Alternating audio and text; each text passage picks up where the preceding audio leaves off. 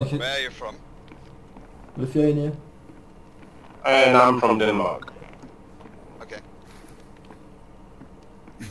But he don't have good weapons in Renfield or whatever he had like some shitty crap. Ah, he had a convert, uh, conversion pistol or something. And Winfield, that was it. Okay, uh... Should we fight or not?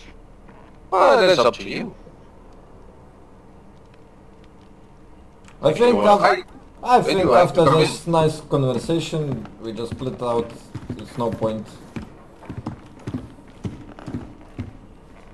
You don't want to fight. Well, we do, but No, if you want, then you have to come in.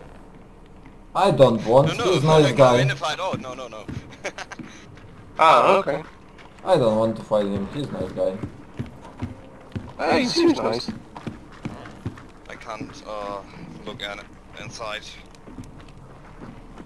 Uh, the door is still open. I know. Move away. Are you upstairs? Ah, seems like he wants to fight still. I close the door and I go to the access. Uh, thank you for the conservation and, and bye bye. Okay. Okay. Have a good day. Have a good day, sir.